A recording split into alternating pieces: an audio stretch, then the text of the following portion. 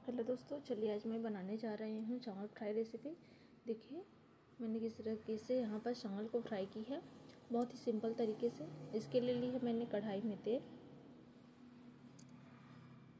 तेल जब अच्छे से गर्म हो जाएगा तो मैं इसमें डाल दे रही हूँ जीरा।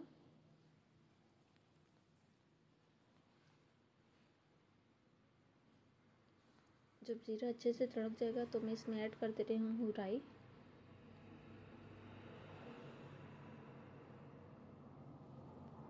फिर मैं इसमें ऐड कर दूँगी कटा हुआ प्याज और कच्चा मिर्ची।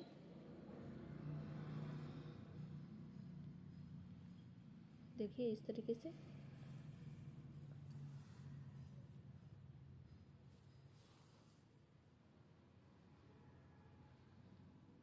यहाँ पास मैं बहुत ही सिंपल तरीके से चावल को फ्राई कर रही हूँ।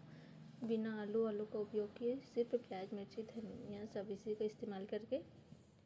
देखिए, इस तरीके से इसको अच्छे से फ्राई करने देंगे।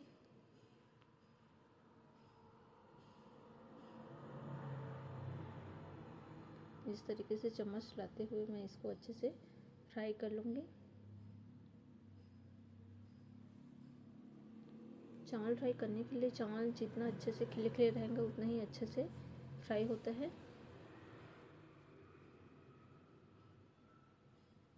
देखिए इस तरीके से जब ये अच्छे से इस तरीके से फ्राई हो जाएगा।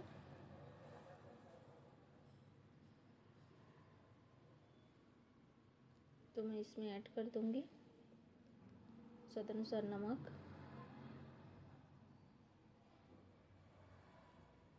हल्दी पाउडर। फिर इसमें एक बार अच्छे से चम्मच ला देंगे।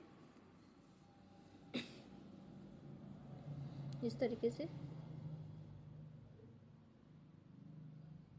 फिर मैं इसमें बचे हुए चावल है जो मेरे पास, उसको मैं ऐड करूँगी। चावल को हाथ की मदद से या चम्मच की मदद से अच्छे से तोड़ लेना इस तरीके से कि चीड़ा या फिर बड़ा बड़ा साइज़ में ना रहे। इस तरीके से मैं सारे चावल को ऐड करके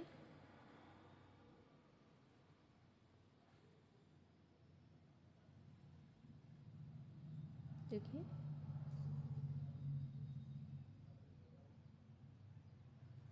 अब चम्मच की मदद से सभी को अच्छे से मिक्स कर देंगे।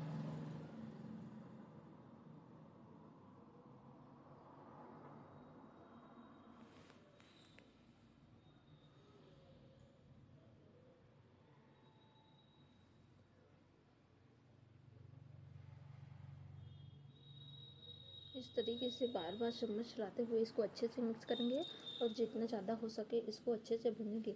जितना ज़्यादा चावल अच्छे से भुन जाता है या फ्राई होता है फ्लेम को मीडियम रख करके, उतना ही चावल क्रिस्पी आता है, कुरकुरी लगता है अच्छे से। और अच्छे से देर तक ही इसको इस तरीके से चम्मच चलाते हुए फ्राई कर लेंगे। देखिए। हल्दी की क्वांटिटी को भी थोड़ा सा डालना है और जब जैसे जैसे चम्मच चलाते जाते हैं मिक्स करते हैं, वैसे ही इसका कलर बहुत ही अच्छे से आ जाता है। फिर मैं इसमें डाल दे रही हूँ बारीक कटा हुआ हरा धनिया। फिर चम्मच की मदद से इसको भी अच्छे से मिक्स कर देंगे। देखिए कितनी अच्छे से कलर आ गया है और चावल भी अच्छे से फ्राई हो गया है। यहाँ बस मैंने बहुत ही सिंपल तरीके से देखिए चावल को फ्राई की है।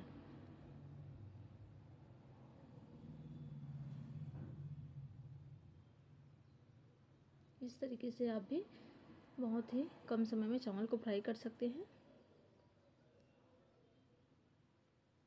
प्लीज़ लाइक शेयर सब्सक्राइब करना ना भूलिए। देखिए कितनी अच्छे से चावल फ्राई हो गया है, जिसे हम लोग